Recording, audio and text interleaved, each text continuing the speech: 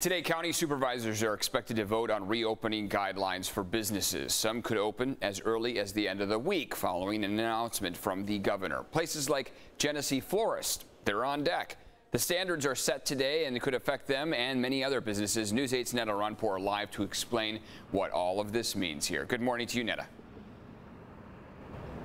Good morning. Yeah, this is the news that many business owners have been hoping for, with the governor saying this is a sign of the times. Based on the latest data across the state, they do feel comfortable enough that phase two can begin as early as the end of this week. So that means as early as Friday, a lot of businesses can stop opening, but it's not going to be the way that it used to be. They won't be open the way they used to be, and shopping will also be changing people can start reopening with those modifications in these particular sectors as early as Friday. But again, the modifications, the adaptations need to be in place before we can move into that second phase. But it can begin as early uh, as the end of this week. Governor Gavin Newsom outlining that plan to ease California's stay at home order later this week, allowing some lower risk retail stores to reopen with restricted operations. And those restrictions do include curbside pickup.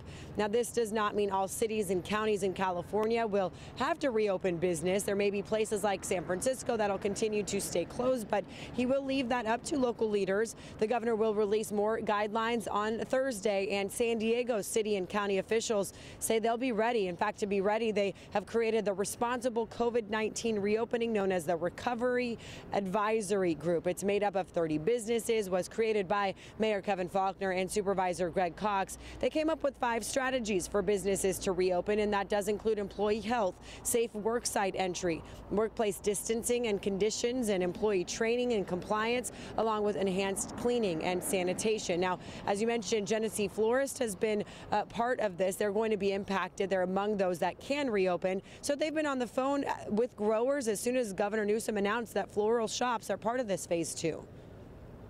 We don't know exactly what he'll be able to you know, get in this week. I placed an order with him and I can't get this, I can't get that.